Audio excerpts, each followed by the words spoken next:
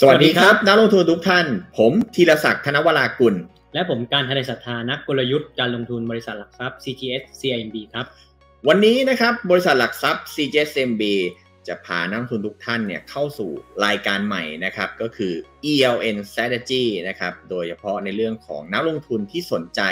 ในหุ้นกู้อนุพันธ์แฝงนะครับหรือตัวของ ELN เนี่ยนะครับก็สามารถติดตามในเรื่องของ Product แล้วก็สินค้าที่น่าสนใจนะครับบริษัทหลักทรัพย์ CGS ก็จะมีในเรื่องของการแนะนำนะครับ product ในตัวของ ELN เนี่ยที่ตอบโจทย์แล้วก็สถานการณ์กับตลาดในแต่ละช่วงเวลานะครับบริษัทหลักทรัพย์ CGS-CIMB นะครับของเราเนี่ยก็แนะนำในตัวของ product KIKO 6เดือนนะครับที่ลงทุนในหุ้นที่เหมาะกับสถานการณ์ของการเลือกตั้งนะครับ สำหรับในสัปดาห์นี้เราแนะนำนะครับหุ้นกู้อนุพันธ์แฝงนะครับหรือกิงโก ELN 6 เดือนที่อ้างอิงกับหลักทรัพย์ 4 ตัวครับ ได้แก่ AWC ดูโฮมโอสดสภา แล้วก็ตัวของสวัสด์สำหรับพื้นฐานหรือคำแนะนำที่น่าสนใจสำหรับหุ้นทั้ง 4 ตัวนี้เนี่ย คุณการมีความเห็นอย่างไรครับ ก็ผมคิดว่าหุ้น 4 ตัวนี้เนี่ยเหมาะกับผลิตภัณฑ์ของเรานะครับที่โก ELN อายุ 6 เดือนของเรา เพราะว่า 4 ตัวนี้เนี่ยเอาลุกค่อนข้างดีครับเป็นหุ้นโดเมสติกปลอดภัย ได้ประโยชน์จากการเลือกตั้งด้วยนะครับแล้วก็ความเสี่ยงเรื่องเศรษฐกิจถดถอยเนี่ยกระทบเขาจำกัดสำหรับทั้ง 4 ตัวนี้ครับก็เดี๋ยวเรามาดูกันไปทีละตัวว่าแต่ละตัวเป็นยังไงนะครับเริ่มที่ตัวแรก AWC นะครับก็ในแง่ของ Story หรือ Fundamental เนี่ยก็ชัดเจนว่าเป็นหุ้นโรงแรมที่ได้ประโยชน์จากการเปิดประเทศครับ ตอนนี้นักท่องเที่ยวต่างชาติเข้ามาในประเทศไทยต่อเดือนแตะ2ล้านคนนะครับดีขึ้นเรื่อยๆ ปลายปีที่แล้วยังอยู่ประมาณล้านกว่าก็เรื่องของอัตราการเข้าพักดีขึ้น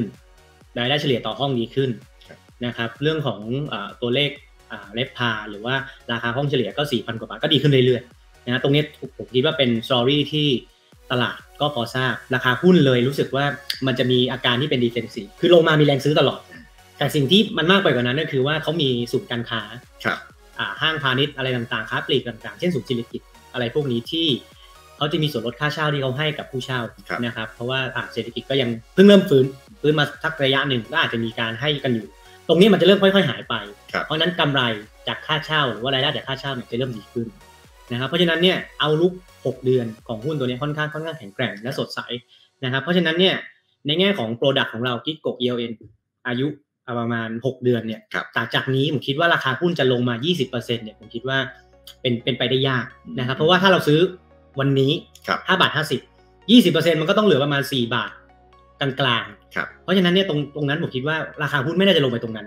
แล้วถ้าเราซื้อ KIKO ELN ตรงนี้เราได้ยิวประมาณเกือบหนึ่งเปอร์เซ็นต่อเดือน ซึ่งถือว่าเป็นเป็นอะไรที่น่าสนใจนะดอกเบี้ยนะ ปัจจุบันที่มันก็กำลังจะเป็นขาลงละนะเพราะฉะนั้นตัวแรกผมคิดว่าน่าสนใจ แล้วเทคนิคเป็นยังไงบ้างครับที่ลองสำหรับ AWC ครับในฝั่งของหุ้น AWC นะครับราคาเนี่ยก็เคลื่อนไหวในแนวโน้มขาลงนะครับในภาพระยะกลางนะครับแล้วก็เริ่มมีสัญญาณของการดิดกลับนะครับที่แนวรับบริเวณสัก 5.20 นะครับสำหรับกรอบการเคลื่อนไหวของตัว AWC เนี่ยเราคาดว่าน่าจะแกว่งตัวนะครับอยู่ระหว่าง 5.20 เป็นแนวรับนะครับแล้วก็ 5.7 เนี่ยเป็นแนวต้านนะครับความเสี่ยงในแง่ของการที่ราคาจะลงไปถึงระดับ 4.50 หรือ 4 บาทเนี่ยอาจจะมีไม่เยอะนะครับ เพราะนั้นในแง่ของภาพการเคลื่อนไหวของตัว AWC เนี่ยก็น่าจะเป็นไซด์เวย์ออกด้านข้างครับผมตัวถัดมานะครับก็คือตัวของ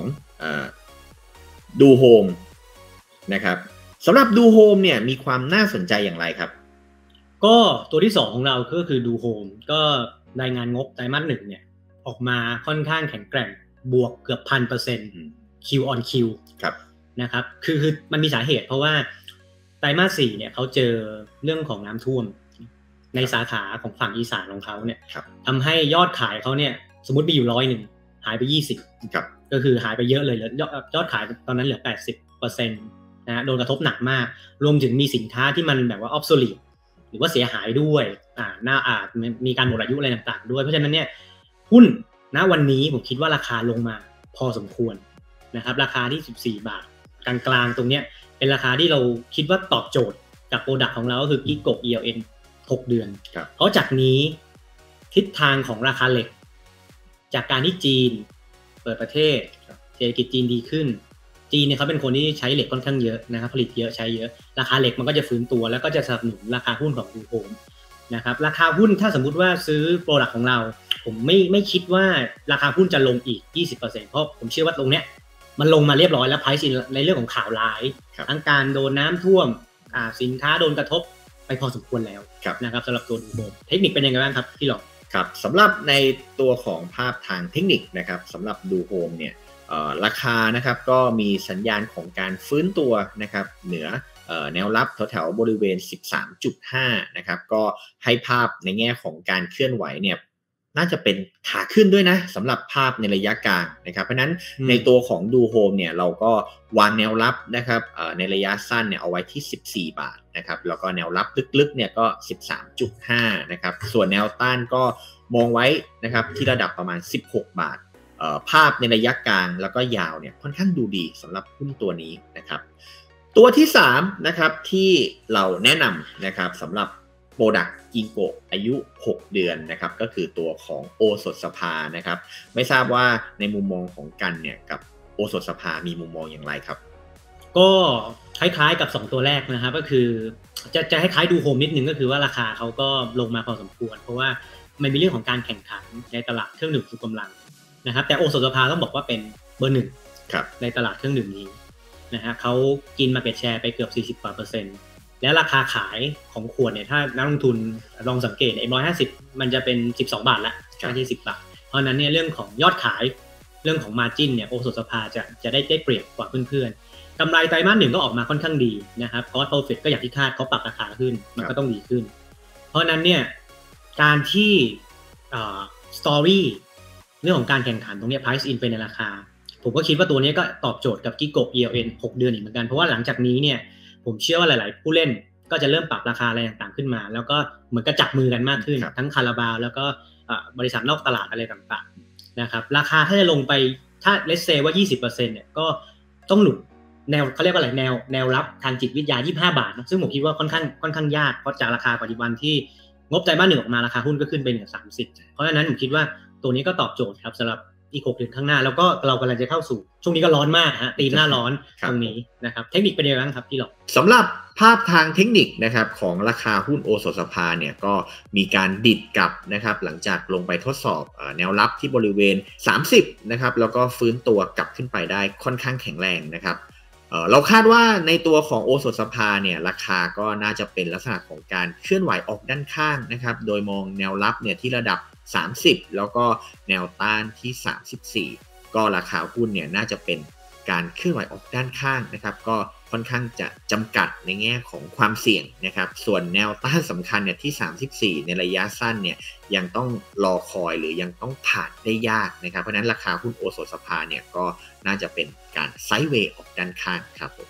ตัวสุดท้ายนะครับที่บริษัทหลักทรัพย์ CGS CMB ของเรานะครับ มี รียกว่าแนะนำนะครับเกี่ยวกับตัวของ g i g o ELN อายุ 6 เดือนเนี่ยก็คือตัวของสวัสด์นะครับสำหรับในตัวของหุ้นสวัสด์เนี่ยมีปัจจัยหรือมีอะไรที่น่าสนใจบ้างครับสำหรับสวัสด์นะครับต้องบอกว่าเป็นเป็นกลุ่มที่ได้ประโยชน์จากการเลือกตั้งนะฮะเพราะว่าการเลือกตั้งเนี่ยนโยบายของพรรคต่างๆ ก็ชัดเจนไม่ว่าใครใครจะมานะยังไงก็คือต้องมีการเพิ่มรายได้ใช่ลดรายจ่ายรายจ่ายที่ว่าก็คือค่าไฟค่าน้ำมันที่เราเติมอะไรตรงนั้นน่าจะมีการลด แล้วก็เศรษฐกิจฐานรากหรือว่าคนระดับกลางล่างได้ประโยชน์จากเงินที่สะพัดมากขึ้น เพราะนั้นเนี่ยสวัสด์กลุ่มไฟแนนซ์รวมถึงตัวโอสถสภากับดูกับดูโฮมเนี่ยจริงๆก็ได้หมดนะเพราะดูโฮมเนี่ยก็คือมีการก่อสร้างหลังจากการเลือกตั้งโอสถสภาคือกำลังซื้อฐานรากฟื้นนะครับสวัสด์ก็เศรษฐกิจฐานรากเพราะฉะนั้นเนี่ยได้ประโยชน์จากตีมเลือกตั้งแน่นอน แล้วก็ถ้าแง่ของ fundamental เนี่ยคือสวัสด์เขาเพิ่งแจ้งตลาด ว่าเขาขอซื้อหุ้น 49%ในบริษัทเงินสดทันใจคืน ตรงเนี้ยมันมี indication ที่สำคัญ เพราะว่าเขาซื้อคืนจากธนาคารออมสิน มันแสดงให้เห็นแล้วว่าธนาคารรัฐไม่อยากจะลงมาเล่นในตลาดจำนำทะเบียนการแข่งขันตรงเนี้ยจะน้อยลงอ่า เราเลยคิดว่าตรงเนี้ยเป็นอีกจุดหนึ่งที่ทำให้ราคาหุ้นกลุ่มจำนำทะเบียนทั้งหมดเนี่ยถูก rerate ขึ้นไปคืออาจจะไม่ได้ลงแล้ว เพราะว่าอย่างไงมันตอบโจทย์กับ product ของเรามาก เพราะว่า ในอนาคต 6 เดือนที่กบ ELN เนี่ย เราคิดว่าถ้าถ้าเกมเป็นแบบนี้ ออมสินไม่เล่นละ ตลาดนี้ ราคาหุ้นจะลงไปแรงๆเนี่ยก็คิดว่าคงจะเกิดได้ได้ยากขึ้นนะครับยิวก็ค่อนข้างโอเคเกือบหนึ่งเปอร์เซ็นต์สำหรับสวัสด์ KIKO ELN ของเรานะครับ เทคนิคเป็นยังไงบ้างครับพี่ลองสำหรับสวัสด์ ครับสำหรับราคาหุ้นของสวัสด์นะครับก็เรียกว่าเดินหน้าทำนิวไฮนะครับในภาพระยะเวลาประมาณ 1 ปีนะครับก็มุมมองในแง่ของทางเทคนิคเนี่ยนะครับสำหรับภาพในระยะสั้นนะครับก็วางแนวรับเนี่ยเอาไว้ที่ 58 นะครับ แล้วก็เทรนด์ของราคาเนี่ยมีโอกาสที่จะวิ่งขึ้นไปแถวๆบริเวณ 65 นะครับ เพราะนั้นในตัวของสวัสด์เนี่ย